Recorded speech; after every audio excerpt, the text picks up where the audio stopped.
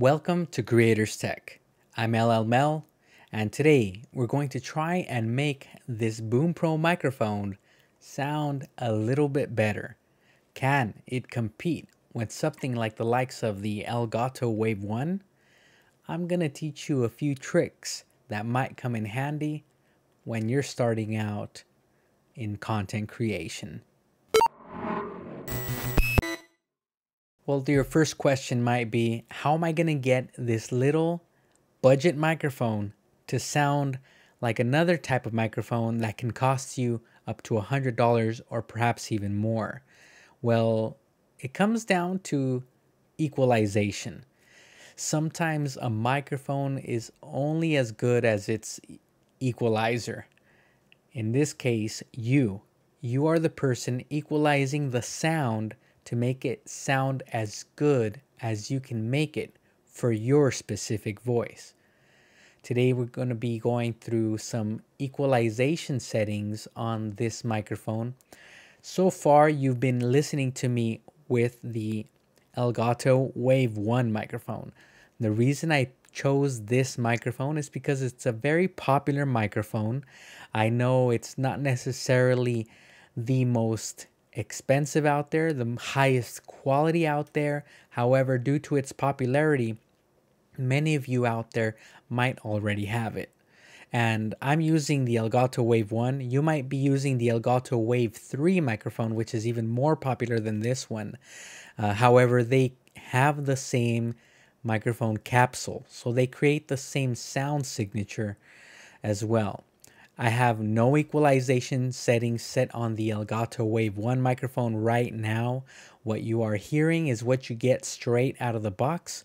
Equalization options are also available for this Elgato Wave 1 microphone. However, for the sake of this video, we are not using it right now. What we are going to do is we're going to go ahead and set up the equalizer for the Boom Pro microphone. Now you are listening to me on the Boom Pro microphone. As you can probably tell, especially those that are wearing headphones, the sound coming from the Boom Pro microphone is a little bit thin. It's not as pronounced. It's not as rounded out as a higher level microphone, as a more expensive microphone. Just so you can hear once again, this is the Elgato Wave microphone. This is the Boom Pro microphone with no equalization. So what we're going to go ahead and do now is we're going to add equalization to this Boom Pro microphone. And you tell me how good it sounds once we're through with it. So now what you're looking at is the Open Broadcasting System software. In this software, you will see the screen and on your screen you see that we have the Boom Pro USB microphone. Now, this is one of these microphones that you can directly plug in to your computer and it should work using the TRRS jack or it also functions as a separate microphone plug with the 3.5 millimeter and a separate audio headphone plug with the 3.5 millimeter. In my experience, unless you have good inputs for your computer, the sound is going to be very noisy and not come clear at all. So, an easy solution is to get an external sound card. Usually they range about $10 or $15 depending on where you get it. But personally, I've been having good luck with getting cheap ones from Amazon. In the description section, you can find a link to this device. So we have this Boom Pro microphone plugged in to the external USB card and that's plugged in via USB 2.0 into my PC. Now that we're here, we're going to go ahead and click on the microphone options. So we click on these little three dots and then we go to filters. Once we're in the filters for mic page, we go to the audio filters, we click on the add button, and then we go to the VST 2.x plugin. Now, depending on the version of OBS that you may have, this may be already present here, or you might need to download it separately. A quick Google search will help you with that. Just make sure you type in VST 2.x plugin for OBS.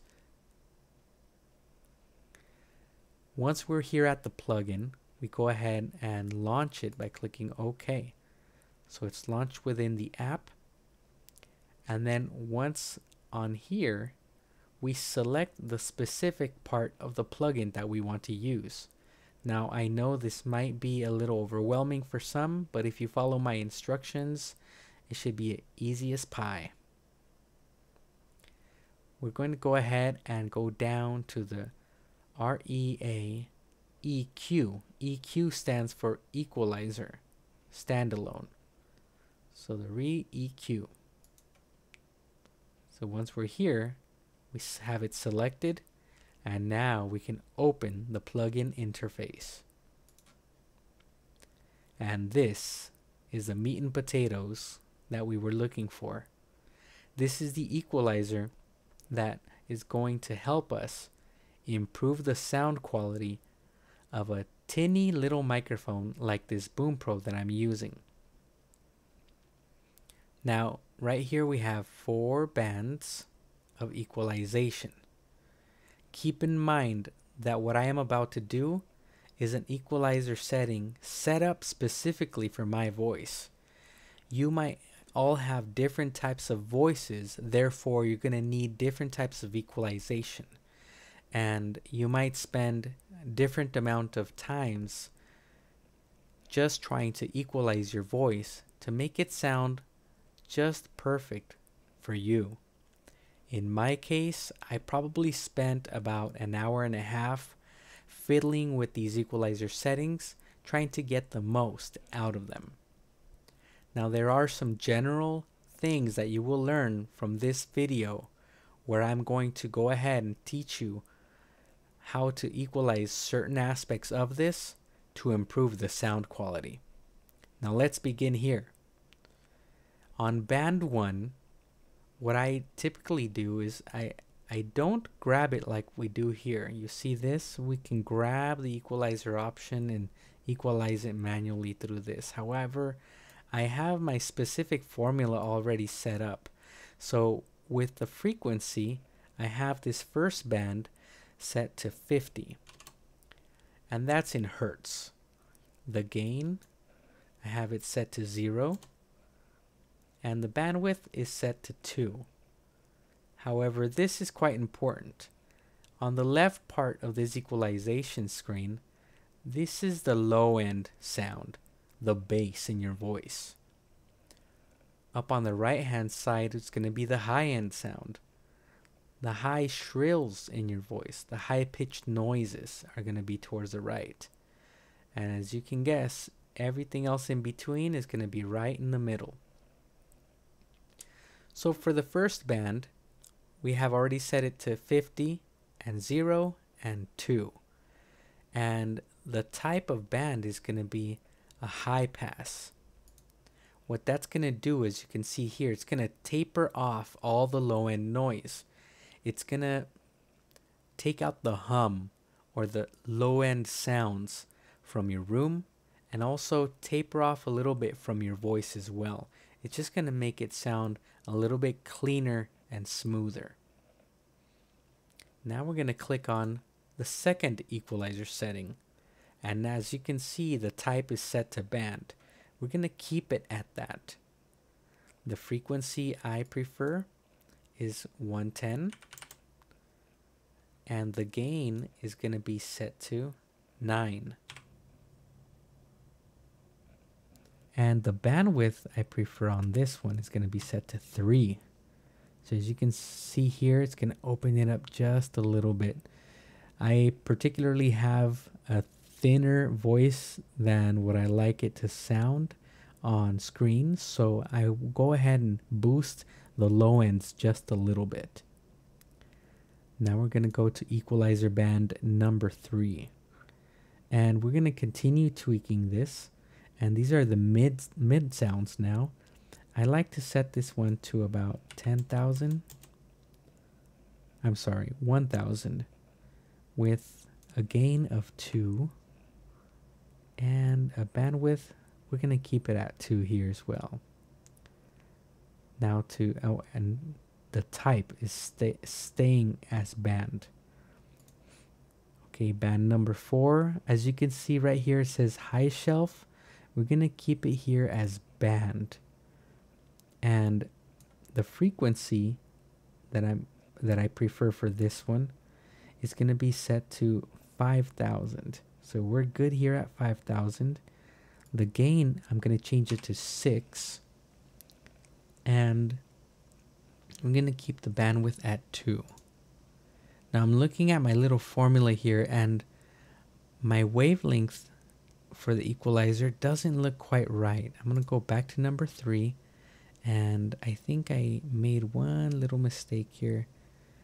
Ah, uh, yes, number 3 So it's set to 1000 and this is set to 2 here. It's actually negative 2 so I'm gonna take out some of those annoying uh, sounds that are not very pleasant to the ear on band number 3 so then we did number 4 and some people might be okay with just having four bands to equalize I prefer to have a fifth band so how do you add a band? First, we go to this little button here that says add band. So now we have a fifth band. The fifth band is going to be around this zone here, as you can see on your screen. So I'm just going to leave it there, but specifically the frequency that I'm going to be having to adjust on this fifth band is we're going to set it to 15,000. So there we are at that frequency. The gain is going to stay at 0 and the bandwidth is going to stay at 2. Now, as we did with the low end, we also need to do something similar to the high end. And that's what's called a low pass filter. And when we do this low pass filter to the high end sounds, that's going to take away some of the shrill on the high end noises, on the high pitch noises. And that's also going to help clean up the audio by not absorbing some of the background noises that are higher pitched. So, for my particular voice, this is the setup that I want.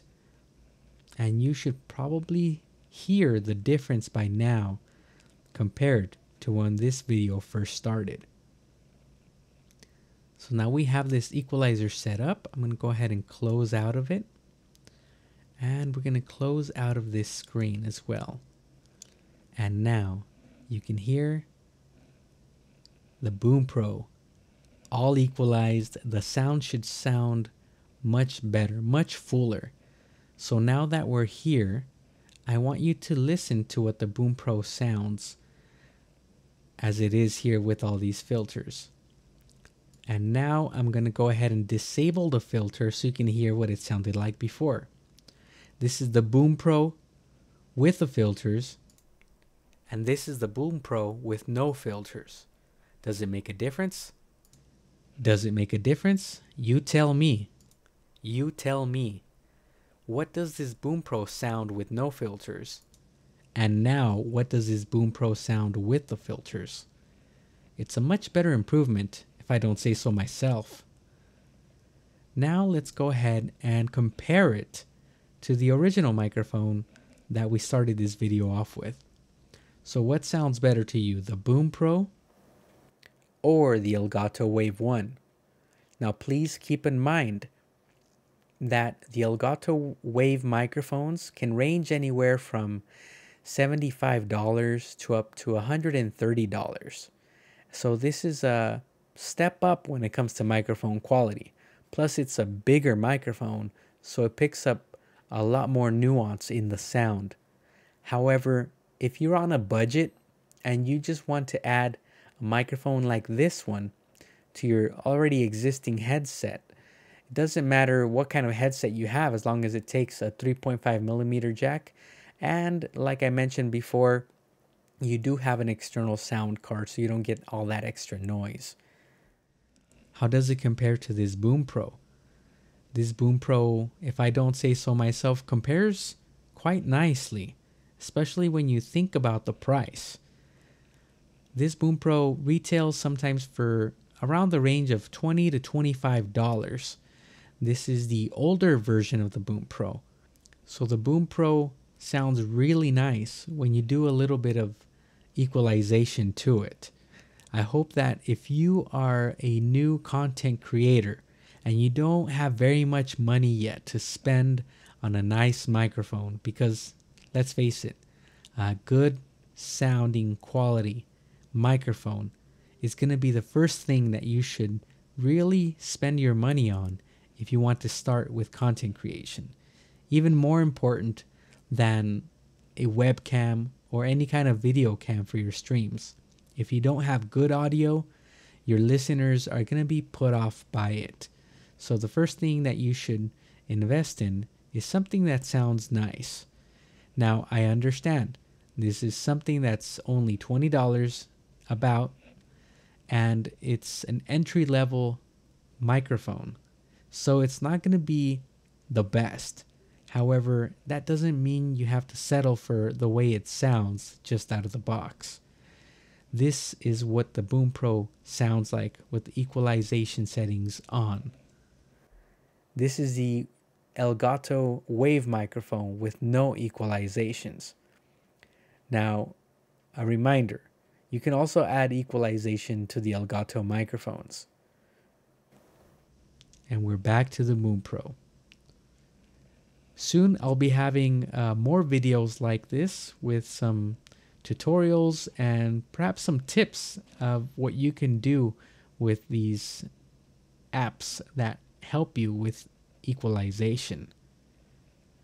There's also another app that can help this equalizer, the VST plugin, work with any mic that is plugged into your computer via USB. And it doesn't require OBS to be turned on so that you can actually use it while gaming and not necessarily streaming using OBS. So you can use it over other applications such as Discord or perhaps just on any other Zoom call as well. You can have your microphone set up with the equalizer to sound just as good. I'll be bringing you a little bit more, so stay tuned here on Creators TEK.